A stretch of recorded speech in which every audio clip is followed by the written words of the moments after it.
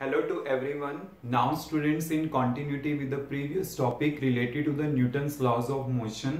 हमने पहले डिस्कशन करी थी about the Newton first law of motion and then second law of motion now last is Newton third law of motion इसके बारे में हमने डिस्कशन करनी है क्लियर आपको वैसे पता है आपने नाइन्थ स्टैंडर्ड में किया है कि Newton third law of motion क्या होता है to every action there is equal and opposite reaction की मीन्स अगर मान लो मैं किसी ऑब्जेक्ट के ऊपर फोर्स लगाता हूँ देन वो ऑब्जेक्ट भी क्या होता है मेरे ऊपर फोर्स को एक्सर्ट करेगा क्लियर तो आपके पास होता क्या है कि इसको समझने के लिए मैंने यहाँ पे ये दो बॉडीज ली है clear let it be A और ये मेरे पास है बी क्लियर और मैं यहाँ पे एक फोर्स ले रहा हूँ F A B F A B क्या है force acting on A due to B. ऐसे ही मेरे पास क्या होगा? एफ़ बी ए होगा। एफ़ बी ए क्या होगा? Force acting on B due to A means आपके पास क्या है कि जब ये बॉडीज आपस में इंटरेक्ट करती हैं तो इसका मतलब क्या है कि ए इसके ऊपर कितनी फोर्स लगा रही है? ठीक है? और बी इसके ऊपर कितनी फोर्स लगा रही है? अगर मैं कहता हूँ F A B force acting on the A due to B तो आपके पास एफ़ ए बी का डायरेक्शन क्या होगा? ये होगा। ऐसे हमारे पास क्या होगा? एफ़ बी ए का डायरेक्शन होगा। एफ़ बी ए का डायरेक्शन मेरे पास क्या होगा? ये होगा।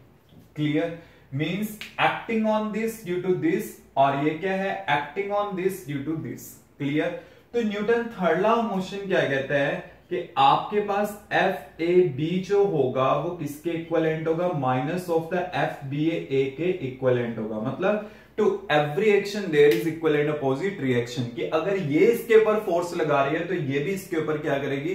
फोर्स एक्सर्ट करेगी बट इन अपोजिट डायरेक्शन तो ये हमारे पास क्या होता है? न्यूटन थर्ड लॉ मोशन होता है। अब मैंने क्या करना है? इसका प्रूफ करना है।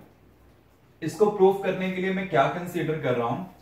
यहाँ पे देखिए मैं इसी सिस्टम को कंसीडर कर लेता हूँ कि मेरे पास एक आइसोलेटेड सिस्टम है जो इन दो बॉडीज को कंसिस्ट कर रहा है, एक बॉडी ए और एक बॉडी बी को। आइसोलेटेड सिस्टम मैंने लिया जो इन दोनों बॉडीज को क्या कर रहा है कंसिस्ट कर रहा है। एफ़ ए बी और एफ़ बी ए का मतलब समझ गए force acting on A due to B force acting on B due to A अब जैसे देखिए कि मैं कहता हूँ कि ये दोनों बॉडीज क्या करती हैं, एक दूसरे के साथ कोलाइड करती हैं। मतलब जैसे मान लीजिए ए जो है वो बी के साथ क्या कर रहा है? कोलाइड करेगा। और आफ्टर द कोलिजन क्या होगा? इन दोनों की मोमेंटम आपस में क्या करेगी? चेंज करेगी। मतलब होता क्या है? ओवरऑल सिस्टम के मोमेंटम में कोई चेंज नहीं आता बट होता क्या है कि जब दोनों आपस में इंटरेक्ट करते हैं, जैसे मान लो कि ये बॉडी है और ये दूसरी बॉडी ये इसके साथ ही इंटरेक्ट कर रही है एंड आफ्टर द इंटरेक्शन इनकी विलोसिटीज क्या होगी वो मुझे नहीं पता। वो मेरे लिए क्या क्वेश्चन मार्क है कि हाँ की क्या विलोसिटी हो सकती है। तो आपके पास क्या है कि इसकी वेलोसिटी भी मुझे नहीं पता, इसकी भी नहीं पता। मींस इन दोनों की वेलोसिटीज क्या होगी? डिफरेंट होगी। क्लियर मतलब इनकी वेलोसिटीज में चेंजेस आएगा। अगर वेलोसिटी में चेंज आ रहा है तो इसका मतलब इनकी मोमेंटम में चेंज आ रहा है। तो मैं यहाँ पे क्या ले लेता हूँ कि मेरे पास डेल्टा पी वन क्या है? Change in momentum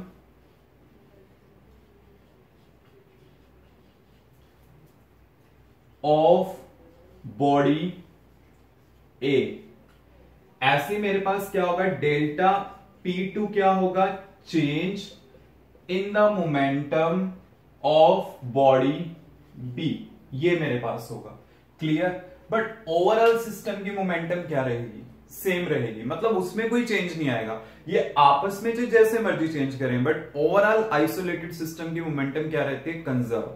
क्लियर तो देखिए, आपके पास क्या होगा? जो डेल्टा P1 है प्लस डेल्टा P2 है, वो मेरे पास क्या होगा? इक्वल टू ज़ीरो तो मैं इसको कैसे लिख सकता हूँ? Delta P1 equal to minus of delta P2 ये मेरे पास आ गया. क्लियर अब दोनों साइड मैं क्या कर रहा हूँ? डेल्टा टी से डिवाइड कर रहा हूँ. ये मैंने डिवाइड कर दिया. अब ये मेरे पास क्या होता है? Change in the momentum with respect to the change in the time और ये क्या होती है? फोर्स तो ये मेरे पास क्या होगी? Force acting on body A due to B और ये मेरे पास क्या होगा? Force acting on body B with respect to A तो आपके पास क्या हो गया कि आप यहाँ पे देखते हो कि दोनों के आगे इक्वल एंड अपोजिट आगे। तो ये हमारे पास क्या हो जाता है? प्रूफ हो जाता है किसका? Newton third law of motion का। पहले मैंने इसको स्टेट किया और बाद में मैंने इसको प्रूफ किया। प्रूफ करने में कुछ नहीं है कि जस्ट मैंने आइसोलेटेड सिस्टम लिया जो इन दो बॉडीज को कंसिस्ट कर रहा है। उसके बाद क्या है कि मोमेंटम इनकी मतलब जैसे इंटरेक्ट कर रही है तो वेलोसिटी चेंज करेगी तो मोमेंटम चेंज करेगी। इनकी मोमेंटम आपस में जैसे मर्ज़ी चेंज करे बट ओवरऑल सिस्टम की तो क्या रहेगी? सेम जैसे मैं मान लेता हूँ कि अगर ओवरऑल सिस्टम की एट है तो ये आपस में चाहे फोर फोर में डिस्ट्रीब्यूट हो, चाहे थ्री फाइव में डिस्ट्रीब्यूट हो चाहे सिक्स टू में डिस्ट्रीब्यूट हो मतलब जैसे मर्ज़ी डिस्ट्रीब्यूट हो जाए बट ओवरऑल वैल्यू तो क्या रहेगी? सेम रहेगी। तो आपके पास ओवरऑल में कोई चेंज नहीं आएगा। तो वो चेंज क्या होगा? ज़ीरो और मैंने इसको राइट साइड शिफ्ट कर दिया then divide by delta D और मेरे पास क्या आ गया? यहाँ से Newton third law motion clear any doubt